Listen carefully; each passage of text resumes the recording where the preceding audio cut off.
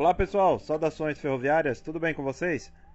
A litorina da CPTM é uma automotriz tipo buffet remanescente da antiga Estrada de Ferro Central do Brasil e Rede Ferroviária Federal Sociedade Anônima, cedida pelo DENIT para a CPTM e reformada em 2010 para fazer parte da frota de trem turístico, a litorina CPTM 01 é o nosso tema de hoje.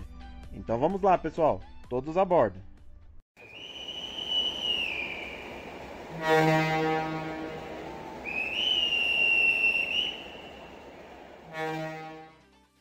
As primeiras automotrizes Bud tipo RDC Rail Diesel Car de bitola larga de 1,60m chegaram em 1958, adquiridas pela EFCB, Estrada de Ferro Central do Brasil, e recebidas já sob jurisdição da Rede Ferroviária Federal. As automotrizes Buddy eram garageadas em São Diogo, Rio de Janeiro, e atendiam diversos horários e as cabines em ambas as extremidades permitiam agilidade e ganho de tempo sem necessidade de manobras complexas. As operações iniciais com as litorinas deram-se no eixo Rio-São Paulo, posteriormente até Belo Horizonte, Minas Gerais, partindo do Rio de Janeiro. As litorinas trafegavam por alguns trechos com velocidades de até 120 km por hora.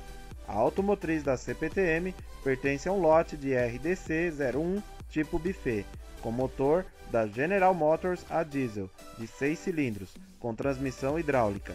A cozinha em uma das extremidades foi projetada para o preparo de lanches rápidos.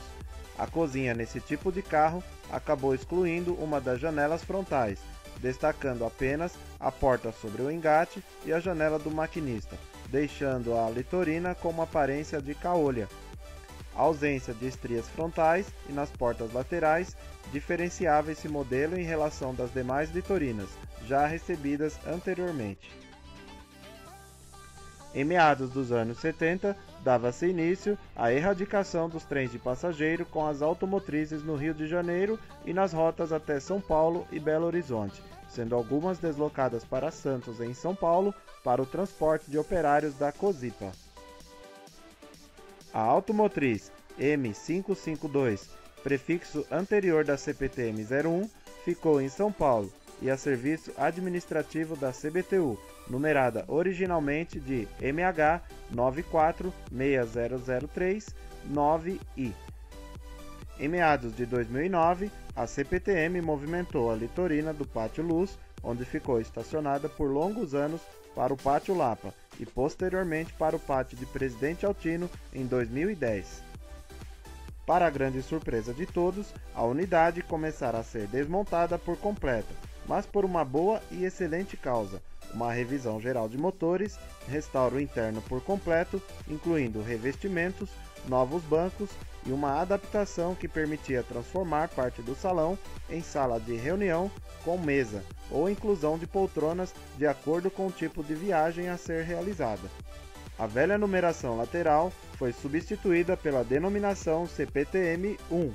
As cores de padronização é a do trem turístico, as extremidades frontais destacam-se o vermelho com listras brancas, levemente inclinadas. Na extremidade, onde já era ausente uma das janelas frontais, o brasão do governo do estado de São Paulo foi fixado. Todo o trabalho foi executado pela Progress Rail e MGE Transportes em 2010, sendo apresentado ao público em 24 de dezembro de 2010 na Estação Luz, com a presença do secretário de Transportes e presidente da CPTM na época, Sérgio Aveleda. O projeto inicial com a automotriz era levar o expresso turístico até a cidade de Pindamonhangaba, em São Paulo, para integrar com o trem turístico de Campos do Jordão, o que não aconteceu até hoje. Sem destinação, a Litorina executou alguns testes e ficou guardada. Em março de 2013, flagrei passando por Caieiras, sentido luz, durante testes.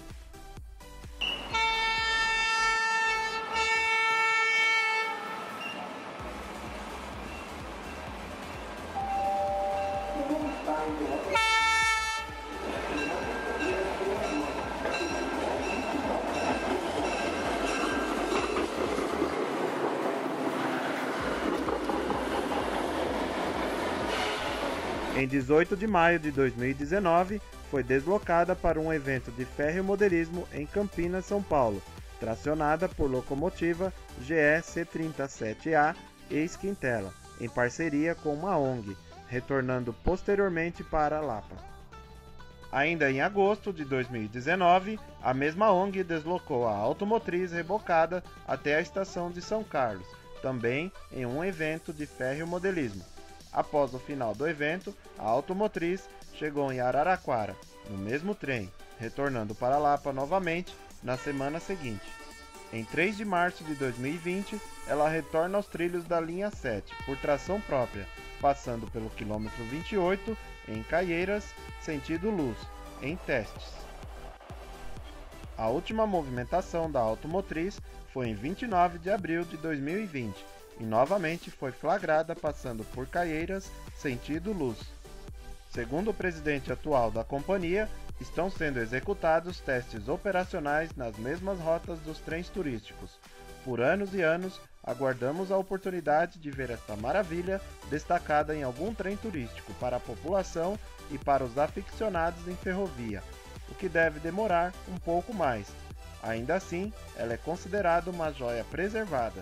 No mundo, restam pouquíssimas unidades em excelentes condições de uso. Por hoje é só, pessoal. Não se esqueçam, inscrevam-se no canal, deixem aquele like maroto para fortalecer o canal e o mais importante, para não perderem nenhum dos nossos próximos vídeos, ativem o sininho de notificações. E até o próximo trem, pessoal!